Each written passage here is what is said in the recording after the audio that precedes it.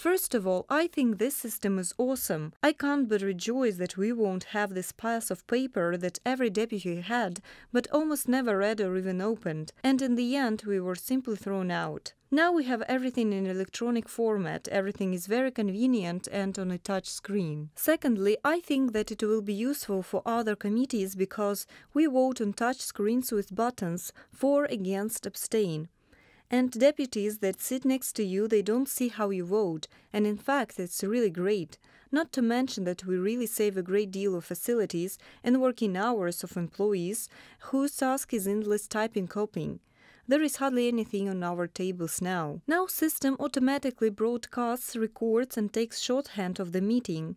In the future and even now on the committee's website there is online broadcast with shorthand reports. Everything is clear and accurate. This is how every parliament should work, how the Verkhovna Rada should work. With the objective of ensuring higher mobility, deputies will have an opportunity to study agenda and draw bills remotely using smartphone or tablets. Beside observance of regulations, it will allow to prepare for meeting more thoroughly and even prepare a speech or comments to every agenda issue. However, a function to vote remotely will not be included. Firstly, all the materials which are under consideration in the committee are collected on a computer, so you can quickly and effectively look through all documents that are basis for examination of issues.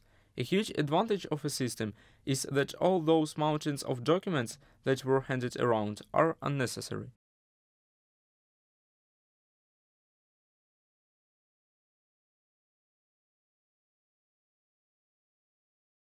I definitely have a positive attitude towards this system.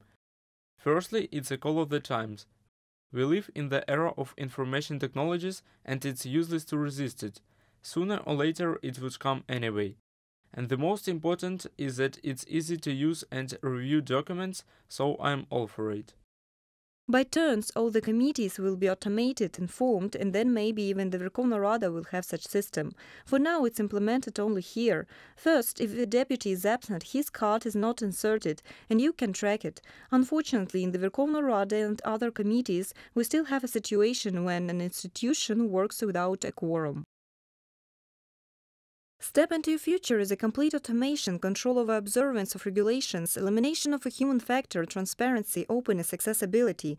All these features can characterize the work of all deputies even this year thanks to the reputable Patentem complex information system.